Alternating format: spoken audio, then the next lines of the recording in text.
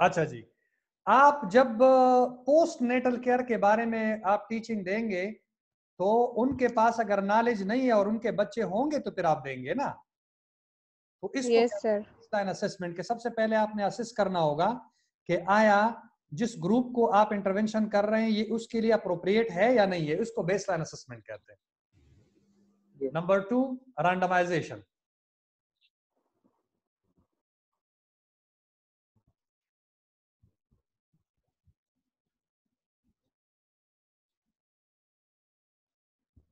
randomization randomization क्या है कि जब आपके पास सैंपल सपोज़ 200 लोगों को आपने सेलेक्ट कर लिया, आप 200 को तो ट्रीटमेंट नहीं देंगे ना 100 को ट्रीटमेंट देंगे और 100 को कोई दूसरी किस्म का ट्रीटमेंट देंगे। ऐसा होगा ताकि आपको इफेक्टिवनेस का पता चले ना। कैसे पता चलेगा कि ये लोग इस दवाई से रिकवर हुए कि नहीं हुए? जब तक आपके पास कंपैरिजन ग्रुप नहीं होगा तो तब तक तो आप नहीं कर सकते ना। कि नहीं? हम्म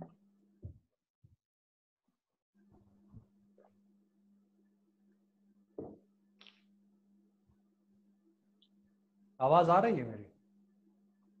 यस सर सर बीच में बीच yes, में सर कट गई बीच थी में तो। कट थे सर कट गई थी। अच्छा मैं ये कहना चाह रहा था कि सर स्लो है बिल्कुल आवाज़। स्लो है? अभी भी स्लो है। सर हम्म अभी ठीक हुई है सर अभी ठीक है? अच्छा। यस सर राइट तो मैंने कहा कि देखें जब आप टीचिंग दे रहे होते हैं कम्युनिटी पे आपने दो ग्रुप्स बनाए हैं।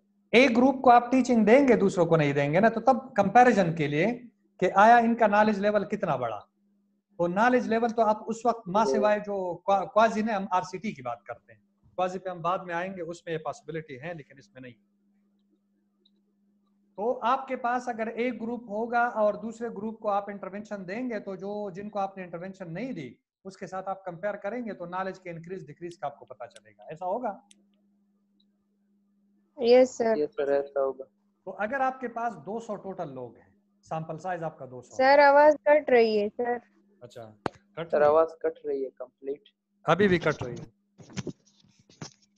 यस सर कट रही है। अभी नहीं आ रही। सर आ रही अभी है आ रही है। अभी आ रही है। अच्छा जी। तो ये जो 200 लोग हैं इनको 100-100 में डिवाइड करेंगे। नई ड्रग हम टीबी की बात करते हैं। बाकी बात पे जाते हैं। टीबी सर आवाज़ नहीं आ रही। सर आवाज़ सर आवाज़ क्लियर नहीं है। है। सर हाँ? सर कट रही है। अभी भी कट रही है।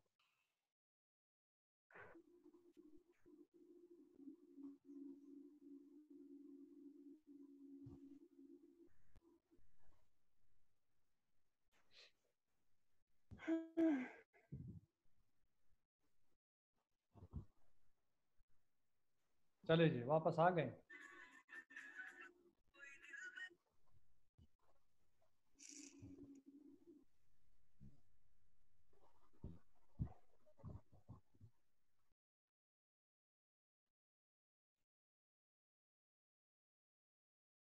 Saima? Saima?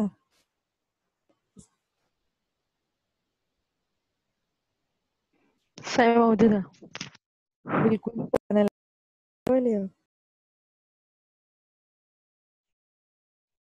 Comparison group hello sir जी जी ये तीन चीज़ें हमने डिस्कस की फॉर आरसीटी हाँ? सर आवाज़ नहीं आ रही। नहीं आ रही सर कट रही है सर सिग्नल प्रॉब्लम बीच में कट रही है आवाज़। अभी कट रही है। मुझे तो बिल्कुल आ नहीं रही। मुझे भी। बीच में कट रही है आवाज़ अच्छा एक मिनट मैं दोबारा इसको आ रही है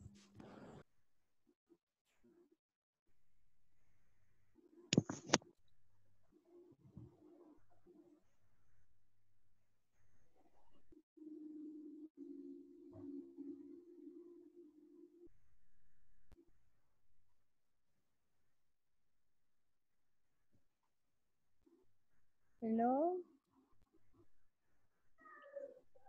जी जी। सर आवाज़ को नाराजी किसी को मेरी हाँ करने लगे मसला था नेट की।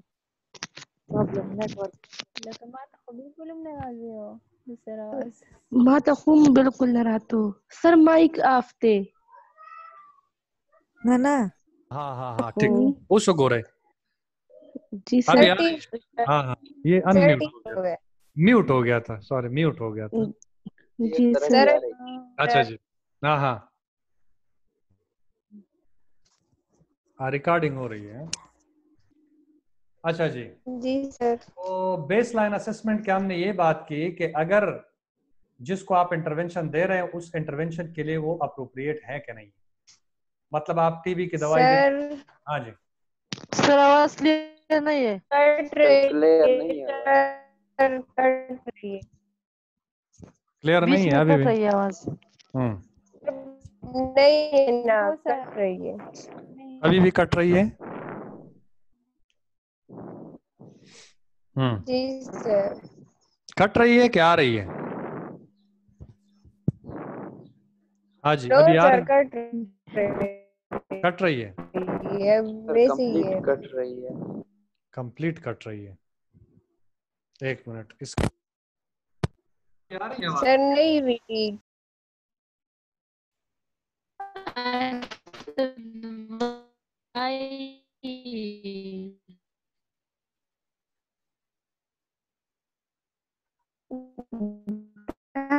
अभी आवाज़ आ रही है? नेटवर्क प्रॉब्लम हाँ जी। सर यस सर अच्छा आवाज़ आ रही है। सर स्टार्ट में आ जाती है जब लेक्चर स्टार्ट हो जाता है गायब हो जाती है आवाज़। आ, इसने मुझे थका दिया ये लिख लिख के मैं थक गया हूँ। बेस लाइन असेसमेंट सर फिर कट रही है आवाज़। फिर भी कट रही है। या सो तुम मी यस सर सर आवाज़ कट रही है सर पता नहीं क्या मसला है। हाँ जी अभी भी कट रही है? अभी आ रही है सर आ रही है अच्छा। यस सर कट रही है स्लो है। स्लो आवाज़ है। जी सर। जब आप स्टार्ट होते तो फिर कट जाती। हम्म। अब आ रही है आवाज़ के नहीं? जी सर आ रही है। आ रही है। अच्छा जी। बेस लाइन असेसमेंट मीन्स के आप डायग्नोस करें कि उनमें वो चीज़ मौजूद है कि नहीं जिसके लिए आप इंटरवेंशन करना चाहते हैं। वो नॉलेज गैप भी हो सकता है वो बीमारी भी हो सकती है वो कुछ भी हो सकता है लेकिन उसके लिए वो सूटेबल है रैंडमाइजेशन ये है कि अगर दो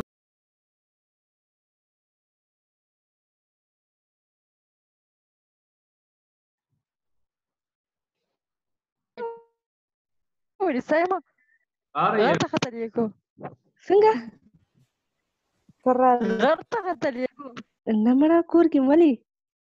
जी सर आ जी रही सर है सर जी आ रही है जी सर अच्छा। तो आर सी टी ये लिख लिख के मैंने कहा कि ना कि मैं तक गया हूँ। एक बेस लाइन असेसमेंट है। फिर इसमें मसला आ रहा है। रैंडमाइजेशन है। और फिर ठीक है। बेस लाइन असेसमेंट में आपने वो गैप मालूम किया जिसके लिए इंटरवेंशन चाहे वो डायग्नोसिस है नॉलेज गैप या जो भी डायग रैंडमाइजेशन का मतलब है कि 200 लोग हैं तो 100 एक ग्रुप में जाएँगे 100 दूसरे ग्रुप में।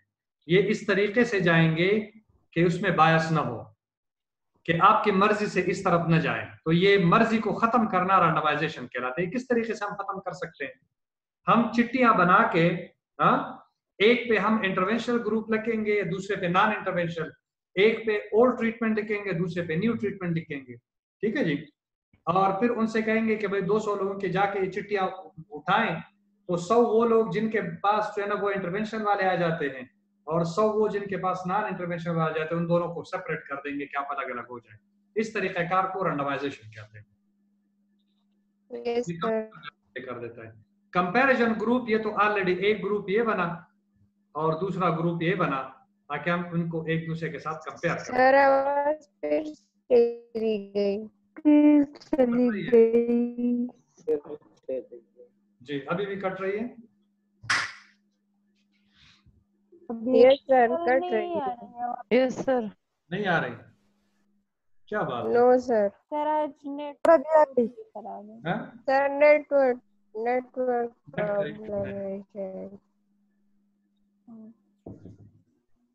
आज नेट का इशू है। अभी आ रही है आवाज़? सर बहुत ज़्यादा है। ज़्यादा है? सर अभी सही है। सर। अच्छा। सर सही आ रही है अच्छा जी तो ये बातें समझ में आ गई बेसलाइन असेसमेंट रैंडमाइजेशन और comparison group one and two group में आपने इसको डिवाइड कर दिया ये कंपैरिजन ग्रुप हो गया। वन सर randomization क्या आ गई। रैंडमाइजेशन ये है। कंपैरिजन ग्रुप जरा समझा दे। अच्छा।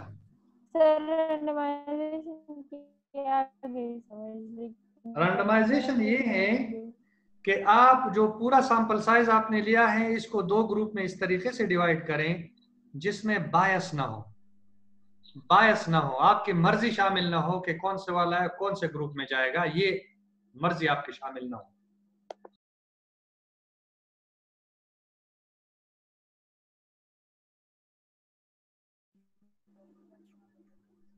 सर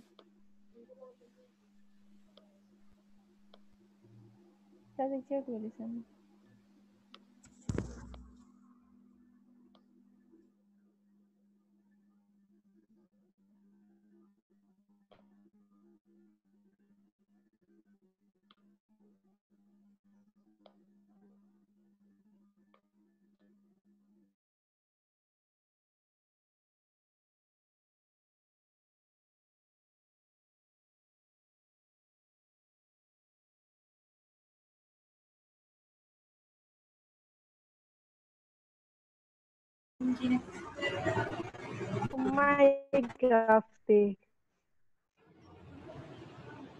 ठीक थे खैर थे है ना आओ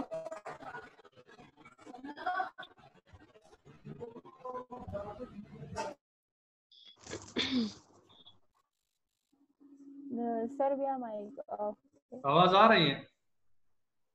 माइक ऑफ़ थे सर ऑन आ रही है आवाज़? जी सर। सर। तो रैंडमाइजेशन का हम बातें करते हैं तो सही आवाज़ आती है। जी सर। सर स्टार्ट कर देते मैंने कहा कि पूरे सैंपल साइज़ को दो तो ग्रुप में इस तरह डिवाइड करना कि आपकी मर्ज़ी उसमें शामिल ना हो तो उसको हम कहते हैं रैंडमाइजेशन हम्म।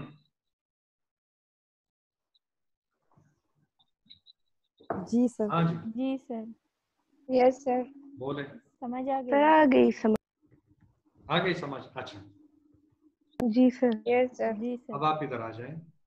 और जो एनआरसीटी है उनमें अक्सर ये वाला आंसर जो रैंडमाइजेशन है ना ये मिसिंग होता है। रैंडमाइजेशन वाला नहीं है। ये मिसिंग होता है एनआरसीटी में। तभी वो ज़्यादा रिलायबल स्टडी नहीं होती। ठीक है? यस सर आगे अब हम पढ़ते हैं। ये इंटरनेट जो है ना थोड़ा सा इशू कर रहे हैं। तो हम थोड़ा सा आगे जाते हैं। जहाँ पर आपका क्वेश्चन है आप पूछें फिर। देखिए जी ये आपके एक्सपेरिमेंटल डिज़ाइन है। इसमें रैंडमाइजेशन बाकायदा दिया हुआ है। ये एजेंट यानी केसेस और ये कंट्रोल है एंड सो ऑन दो ग्रुप में डिवाइड करने को रैंडमाइजेशन कहते हैं, जिसमें बायस खत्म हो। तो in epidemiological experiment in which subjects in a population are randomly allocated into groups usually call study and control groups to receive and not receive an experimental preventive or therapeutic procedure manoeuvre or intervention manoeuvre mean hand जो intervention होते हैं। For example baby delivery के दौरान अगर इस तरह hand मतलब intervention दी जाए जो उसको सीधा करके फैसिलिटेट करे ये ज़्यादातर मेनोवर जो है ना उसमें यूज़ होता है। हाथों के इस्तेमाल से जो आपका इंटरवेंशन करते हैं ना उसको मेनूवर कहते हैं। सर फिर आवाज़ खराब हो गई है। आवाज़ खराब हो आवाज़ गई नहीं आ रही हाँ। सर। अभी भी नहीं आ रही। सर नहीं आ रही। बिल्कुल नहीं आ रही। खराब हो गई सर। सर? कट जाती है बीच में। अच्छा।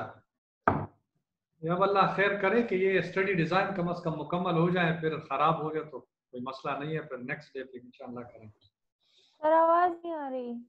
हाँ आवाज़ नहीं आ रही कुछ नहीं आ रही। यस सर नो सर आ रही आ बिल्कुल रही है। समझ नहीं आ रही। हाँ? नो सर आवाज़ की बिल्कुल समझ भी नहीं आ रही। अभी भी नहीं आ रही। सर क्या कह रहे हो क्या?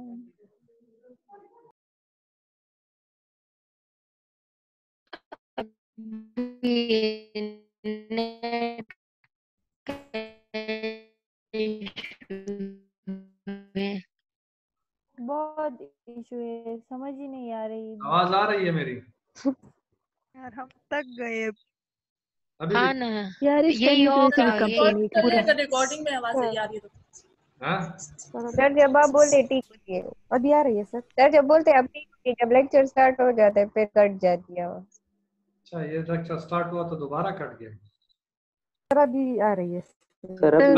लेक्चर के तो साथ। definition है an epidemiological experiment in which subjects in a population are randomly allocated into groups usually called study and control groups to receive and not receive an experimental preventive or therapeutic procedure maneuver or intervention यानी कोई भी intervention जब आप करते हैं तो अपने sample size को दो ग्रुप में डिवाइड कर देते हैं रैंडमली एलोकेट करते हैं मतलब किसी को ये पता नहीं चलता कि मैंने इंटरवेंशन ग्रुप में जाना है या नॉन के कंट्रोल में जाना है ये उनको पता नहीं होता तो इस तरीक़ाकार को कहते हैं रैंडमाइजेशन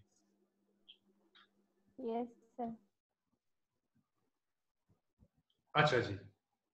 ये मेनोअर मैंने लिखा हुआ है can action aim at avoiding an opponent a deliberate ordinated dinated movement requiring dexterity and skill ये मुख्तलिफ़ मीनिंग है। A move made to gain a tactical end act in order to achieve a certain goal so or इसको हम manoeuvre कहते हैं। अच्छा difficulty in delivery of fetal shoulders failure to deliver fetal shoulder without Sir. utilizing facilitating maneuver. खराब हो गई। आ cut आ रही cut रही। ये मेनोवर की डेफिनेशन है और इतना कुछ है नहीं इसमें। ये मैंने खुद से डाले हुए थे कि ताकि आपको मेनोवर का समझ में आ जाए कि मैन व्हाट इज़ मेनोवर मेरी आवाज़ आ रही है अभी? हैं? आवाज़ आ रही है कि नहीं? कट रही है सर। कट रही है नहीं है। कट रही है? हाँ जी। सर अभी भी कट रही है। अभी भी कट रही है। जी सर बिल्कुल समझ नहीं आती। अभी आ रही है। पता अच्छा। तो randomize control trial randomize allocation of participant to various groups and random fashion control a control group is used to compare the effects of a particular treatment trial an experiment conduction Trial is an experiment conduction तो ये definition तीन इधर दिए हुए हैं। कि randomize क्या है, कंट्रोल क्या है और trials क्या है. इससे RCT बना है अच्छा जी। आप किस तरह जाएँगे जब आप स्टडी पहले रेफरेंस पॉपुलेशन पॉपुलेशन आपका तो जो आप सब्जेक्ट बनाएँगे टाइटल बनाएँगे रिसर्च का उसमें ज़िक्र तो होगा ना कि आपने किन लोगों पर ये करना है। आपका फिर रेफरेंस पॉपुलेशन है जिसको आप टारगेट पॉपुलेशन भी कह सकते हैं। टारगेट पॉपुलेशन के बाद इधर आती हैं ये एक्सेसिबल पॉपुलेशन जहाँ से आप सैंपल कलेक्ट करते हैं। इसमें एक्सेसिबल नहीं लिखा हुआ। टारगेट के बाद आपका एक्सेसिबल फिर उससे सैंपल ले लेते हैं। सैंपल को रैंडम एलोकेशन कर देते हैं इंटरवेंशन ग्रुप कंट्रोल ग्रुप में। हाँ? यस सर अच्छा और फिर लास्ट टू फॉलो अप फिर लास्ट टू फॉलो अप इसमें जाया हो सकते हैं, आपसे जो है ना वो एक्सपेरिमेंट छोड़ भी सकते हैं। और आखिर में आप मेजर कर लेते हैं कि आया, इस इंटरवेंशन का कोई इफ़ेक्ट है, जो इंटरवेंशन ग्रुप में आपने किया है as compare to non intervention group या दोनों में एक जैसे अगर दोनों में एक जैसे तो एक्सपेरिमेंट नाकाम। कोई काउजल रिलेशनशिप नहीं बनता। और अगर एक में ज़्यादा है, दूसरे में कम है तो इसका मतलब यह है कि इंटरवेंशन कामयाब है। अच्छा जी randomize control trial the true experimental study design has control group has three characteristic randomization the researcher takes care to randomly assign subject to the control in experimental groups each subject is given an equal chance of being assigned to either group correct चाहे वो intervention में आ जाता है चाहे non intervention में आ जाता है Control Yes, the sir. researcher introduces one or more control groups to compare with the experimental group. Manipulation, the researcher does something to one group of subjects in the study. एक को दवाई दे देते हैं दूसरे को दवाई नहीं देते note the strength of experimental study is that by randomization of compounding factors strength इसकी ये है कि इसका जो प्रोटोकॉल है वो ये कहता है कि तमाम कंपाउंडिंग फैक्टर्स जो आपके रिज़ल्ट को अफेक्ट करते हैं उसको आपने रिस्ट्रिक्ट करना होगा कंट्रोल करना होगा। एक्सपेरिमेंटल स्टडी का खासा ये है। Yes, sir. ठीक है जी। क्या खासा है? फॉर एग्ज़ाम्पल आपने इंटरवेंशनल ग्रुप को एक एयर कंडीशन रूम में रखा हुआ है तो आप कंट्रोल को भी उसे रूम में अलग रूम में रखेंगे टेम्परेचर उतना ही होगा। डाइट जो केसेस को मिल रहा है वो कंट्रोल को सिर्फ़ फ़र्क इतना होगा कि एक को दवाई मिल रही होगी दूसरे को नहीं मिल रही होगी। या एक को एक किस्म की दवाई मिल रही होगी दूसरे को दूसरे किस्म की दवाई मिल रही होगी। ये फ़र्क है दोनों। बाकी तमाम चीज़ें एक जैसे होंगी। तमाम चीज़ें। ठीक है ना? तमाम चीज़ें एक जैसे इन होंगी। Control trial we begin a defined population. Subject in the study population are randomly allocated to intervention. Inter, control groups, and the results are assessed by comparing the outcome. The basic design of RCT is given below. ये वाला देखिए study population sampling कर देते हैं फिर randomisation control एक तरफ़ study group दूसरी तरफ़ डेटा कलेक्शन करते हैं आप कंट्रोल से वही डेटा कलेक्शन करते हैं बिफोर इंटरवेंशन आप स्टडी ग्रुप से फिर इसमें कंट्रोल में कोई इंटरवेंशन नहीं करते यहाँ पर आप इंटरवेंशन कर देते हैं फिर इनसे भी डेटा लास्ट में कलेक्ट करते हैं और इनसे भी डेटा कलेक्ट करते हैं फिर दोनों को कंपेयर करते हैं। इफ़ेक्ट है या नहीं है दोनों को आखिर में कंपेयर करते हैं। आ गई बात समझ में? जी sir allocation of study subjects randomization. Random mean governed by chance. यानी बाय चांस का मतलब ये है कि किसी को ये नहीं पता चला हो कि मैंने एक्सपेरिमेंटल ग्रुप में जाना है या मैंने दूसरे ग्रुप में जाना है। Randomization allocation of individual to groups by chance. Each sampling unit has the same chance of being selected. Selection. Selected. उनके सिलेक्शन के चांसेस इंटरवेंशन नॉन इंटरवेंशन दोनों में एक जैसे। जब उनको पता ही नहीं है चिट्ठी पे काम होता है तो चिट्ठी जब निकलती है अगर आया इंटरवेंशन है तो इंटरवेंशन में जाएगा और अगर ये कंट्रोल में आया तो कंट्रोल में जाएगा। उनको पता नहीं चलेगा ये इक्वल चांस हम इसको कहते हैं। randomization yes,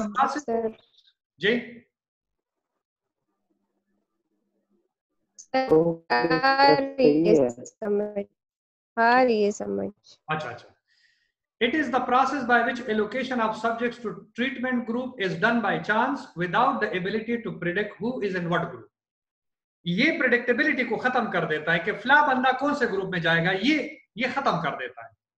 कौन किस ग्रुप में जाएगा ये रैंडम एलोकेशन फ़ैशन के थ्रू जाएगा।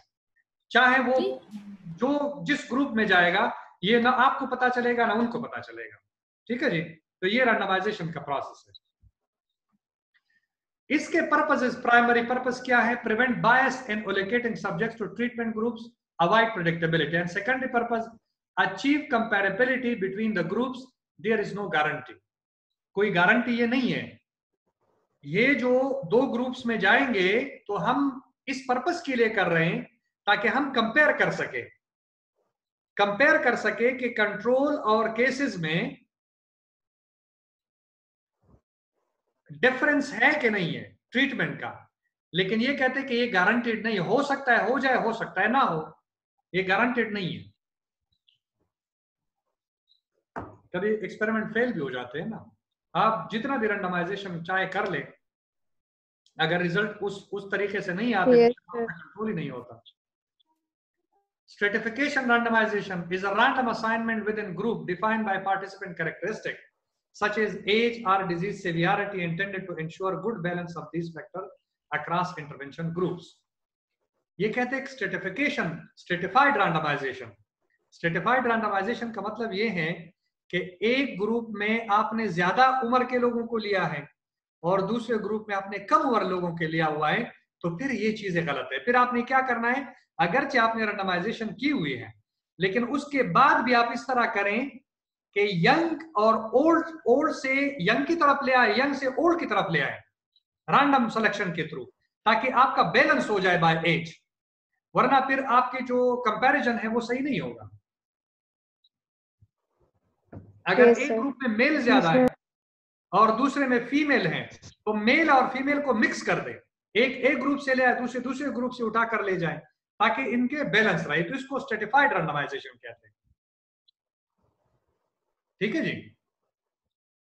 जी सर जी सर ये देखें Yes, ये एक एग्जांपल दी हुई। है कि ये जो डायग्राम है हर थाउज़ेंड पार्टिसिपेंट है stratify by gender 600 male 600 400 females हैं स्ट्रेटिफाई बाय एज इन दोनों में एज 240 ओल्ड है 360 यंग है यहाँ पर 300 यंग है और 100 ओल्ड है. तो बैलेंस नहीं है ना? यहाँ पर ओल्ड 240 यहाँ पर 100 है 300 यहाँ पर 300 बैलेंस नहीं है ना? तो हम क्या करते हैं? रैंडमाइजेशन ईच सब ग्रुप यहाँ से किसी को उठाकर इधर ले आते हैं इधर से उठाकर इधर लेके जाते हैं। ये पचास कर देते हैं तो इधर से कुछ उठाकर पचास इधर लेके आते हैं। यहाँ से 150 इधर लेके आते हैं और यहाँ से 120 इधर लेके आते हैं। हाँ या 150 इधर लेके आते हैं। इसी तरह हम करते हैं जो स्टेटा हमने बनाया हुआ है उसको मिक्स कर देते हैं। Randomization within the stratum ताकि हमारे हम इसको मिक्स क्यों करते हैं? हाँ? सर हमने इसको मिक्स क्यों किया? इसलिए मिक्स क्या है? कि अगर आप मेल और फीमेल को इस तरह कंपेयर नहीं कर सकते फिर। ओल्ड और यंग को कंपेयर नहीं कर सकते। आपके पास जब मिक्सचर आ जाए तो ट्रू रिज़ल्ट का आपको पता चलेगा। ठीक है जी। यस सर अच्छा जी। ये इधर लिखा हुआ है। इसको आप न्यू ट्रीटमेंट दे दे इसको करंट ट्रीटमेंट दे दे। ये आपने पूरे का पूरा मिक्सर किया हुआ एक तरफ़ 500 दूसरी तरफ़ 500 मिक्सर किस चीज़ का है? जेंडर का है एज का है और बाय जेंडर बाय एज इन दोनों का मिक्सचर आपने बनाया हुआ है। Randomization trials are gold standard of study design because the potential for bias selection into treatment group is avoided ये कहता है कि गोल्ड स्टैंडर्ड है इसके अलावा कोई दूसरी स्टडी नहीं है जो आपको अच्छे रिज़ल्ट दे सके। ये आखिरी स्टडी है, जो आपको रिज़ल्ट देंगे और ये एंड मतलब लास्ट रिज़ल्ट होंगे। फिर आप इसको पब्लिश करेंगे और इसके बाद आप इसको मार्केट में लेके जाएँगे कि भाई ये इस्तेमाल करते रहें, ये इफ़ेक्टिव है। चाहे वो इंटरवेंशन है, चाहे वो दवाई है, जो चीज़ भी। अच्छा ब्लाइंडिंग इन आरसीटीज अब, जैसे मैंने कहा कि ना ट्रीटमेंट ग्रुप को पता है, ना जो है नॉन ट्रीटमेंट ग्रुप को पता है कि उनको क्या मिल रहा है, क्या नहीं मिल रहा हाँ? कौन से इंटरवेंशन दिए जा रहे हैं, कौन से दवाई आया, जो कंट्रोल है उनको तो आप दवाई नहीं देंगे, लेकिन उस कलर की दवाई देंगे, कोई प्लेसेबो देंगे। और जो कंट्रोल ट्रीटमेंट ग्रुप है, उनको वाकई एक्चुअली दवाई आप देंगे। तो दोनों को पता नहीं चलता कि उनको दवाई मिल रही कि नहीं। अगर पता चला तो फिर जो इन्वेस्टिगेटर डेटा कलेक्ट करता है या उनको पता चला या मरीजों को पता चला और उनसे पूछा तो आपके डेटा में गड़बड़ हो सकता है। तो इस चीज़ को ब्लाइंडिंग कहते हैं कि आप उनको खुफिया रखें इन चीज़ को ताकि आपका जो इंटरवेंशन है उसके सही समरात आपको मिल सके रिज़ल्ट सही आ सके। So blind important distinguishing aspect of randomize control trial the term blinding masking refers to keeping trial participant investigator usually health care providers or assessors those collecting outcome data unaware of an assigned intervention so that they are not influenced by their knowledge. So that they are not influenced by that knowledge. अगर उनको पता चला तो फिर तो वो अपनी तरफ़ से पेजेस भरेंगे कि हाँ भाई इंटरवेंशन में ये हुआ वो हुआ उनको फिर पैसे मिलेंगे ना खुफिया तौर पर तो ये blinding prevent bias at several uh, stages of a trial. Masking or blinding is used to increase objectivity of the person dealing with the randomized study to prevent pre- prejudice. जो bias को खत्म करें आ, जो मुदाखलत है influence है वो उसको खत्म कर सके। Subject who can be mask और ब्लाइंडेड स्टडी पार्टिसिपेंट हो सकते हैं केयर गिवर हो सकते हैं जो ट्रीटर्स है डेटा कलेक्टर हो सकते हैं डेटा एनालिस्ट हो सकते हैं इवन इन्वेस्टिगेटर भी हो सकते हैं। इन तमाम के तमाम को जो पूल प्रूफ स्टडी होती है इन तमाम को ब्लाइंड रखा जाता है ताकि स्टडी के रिज़ल्ट पे कोई असर ना पड़े। Level of masking and blinding non blinded open open का मतलब ये कि हम आपको ये चीज़ दे रहे हैं, ये इंटरवेंशन है, इसके क्या इफेक्ट्स है, क्या नहीं है, इसको ओपन स्टडी कहते हैं। सबको पता है कि क्या हो रहा है। सिंगल ब्लाइंड सिंगल ब्लाइंड का मतलब ये है कि आपने सिर्फ़ पार्टिसिपेंट को ब्लाइंड रखा हुआ है। डबल ब्लाइंड जो इंटरवेंशन दे रहे हैं, उसको भी आपने ब्लाइंड रखा हुआ है। ट्रिपल ब्लाइंड का मतलब है कि रिसर्चर इन्वेस्टिगेटर को भी ब्लाइंड रखा हुआ है। Prejudice preconceived opinion that is not based on reason or actual experience अपनी तरफ़ से डाल देता है ना कि ये ये हुआ है a placebo from the latent for I will please is a medical treatment, operation, therapy, chemical solution, pill, etc., which is administered if it were a therapy, but which has no therapeutic value rather than the placebo effect.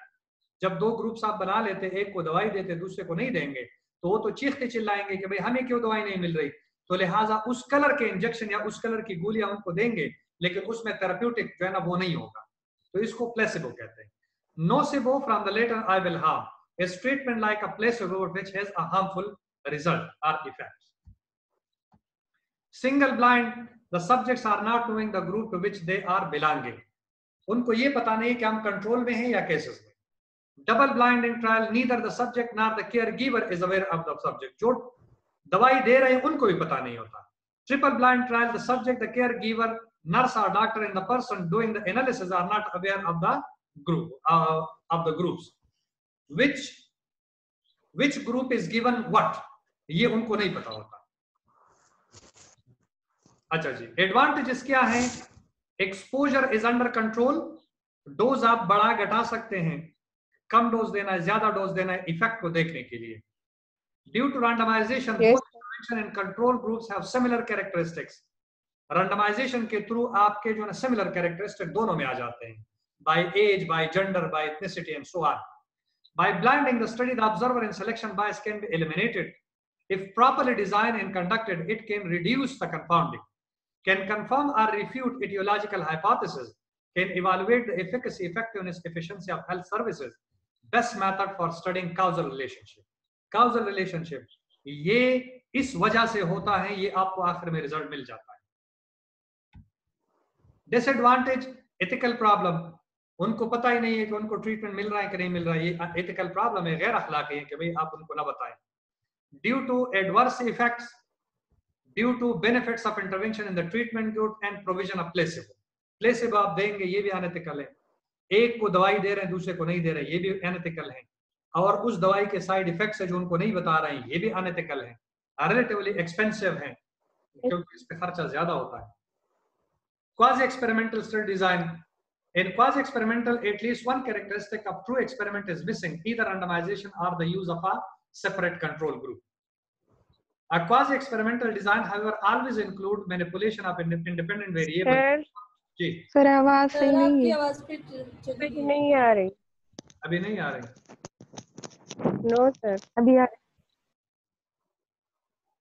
बिल्कुल भी नहीं आ रही अभी आ रही अभी sir इस है। स्लाइड आ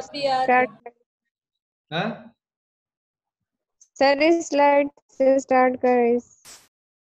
पिछले स्लाइड ये? जी सर अच्छा। ये मैं बता रहा हूँ कि ये डिसएडवांटेजेस है ना। यानी एथिकल प्रॉब्लम. कहाँ कहाँ पर ड्यू टू एडवर्स जब आप दवाई दे रहे हैं तो इसके साइड इफेक्ट्स होंगे कि नहीं होंगे?